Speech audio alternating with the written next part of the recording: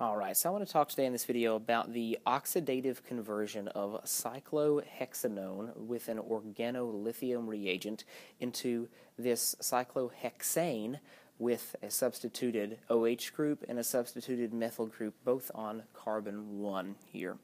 Um, and this is going to be a 1-2 addition because, in this case, oxygen is going to be counted as 1, and then this first carbon here will be counted as 2. So we're adding something onto the oxygen. We're protonating it, which is going to end up being with our second reagent here, water.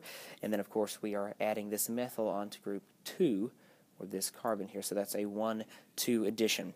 All right, so how are we going to go about doing this? Let's look at the beginning of this mechanism and see what goes on here. First off, I think the best thing for us to do is to look at this. Um, uh, the cyclohexenone and draw in the lone pairs of electrons around this oxygen and look at what kind of uh, partial dipoles we're going to have here. Well, the oxygen is going to be super electronegative, we know that.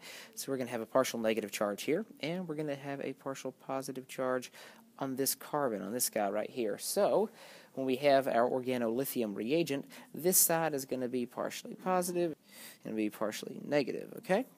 So, when this side's partially negative, that means that this side is going to want to have a nucleophilic attack onto the electro, slightly electropositive parts of our uh, parent compound over here. So, this guy is going to attack right there. And when it does that, of course, we've made five bonds to this carbon, which is not okay. So, what do we need to do? Well, let's kick off some of the electrons uh, in this carbonyl here onto the oxygen as lone pairs.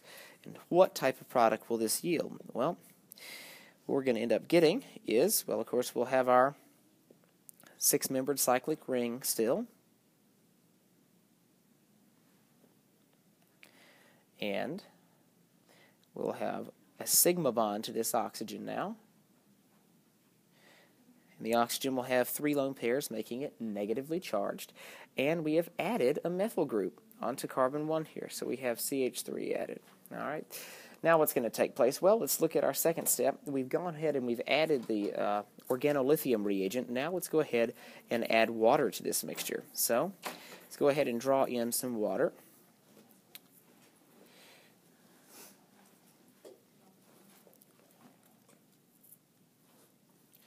All right, now when we go ahead and add water to this, what's going to happen is we have this methyl group here.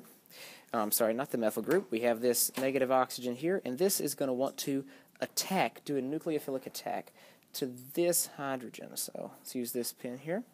All right, and when it does that, of course, it's going to kick off the electrons in the OH here onto this oxygen, giving it a, a breaking up, breaking this off, giving us an OH group with a negative charge, and yielding a final product of. Let's go ahead and write this down.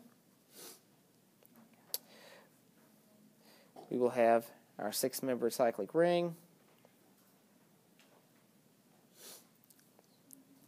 The um, double bond here, of course, can serve throughout the entire reaction. It does not react with anything. And we have protonated the oxygen here, so we have a sigma bond to the OH group. And we have our methyl group added right here. All right. And so this is what we wanted to get to. Yes, it is. Well, there we go.